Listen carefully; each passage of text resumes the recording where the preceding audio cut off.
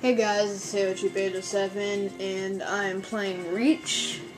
My first video was Reach and today I'm showing you how to get the um, data pad on Oni Sword Base.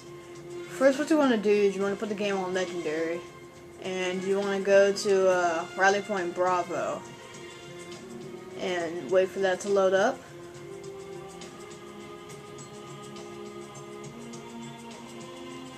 And we can go ahead and begin. It doesn't matter if you have any skulls on. You don't really be, you don't fight anybody really.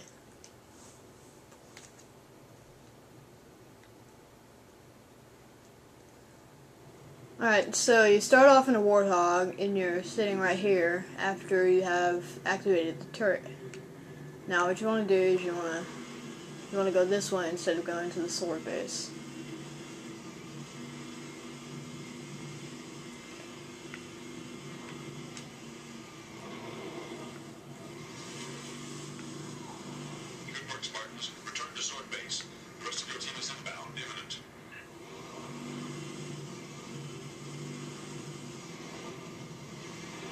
And then you'll eventually come here and it's going to be completely empty.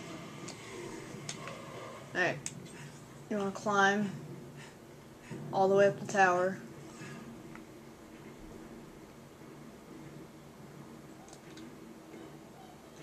And then you'll get to this pallet-like structure. Now you're going to look down and you're going to just sprint and then jump. And then over here on these rocks you have a data pad that is sitting there. And usually just data pads just say a bunch of words. It's kind of like from Halo 3. Um, the uh, terminals.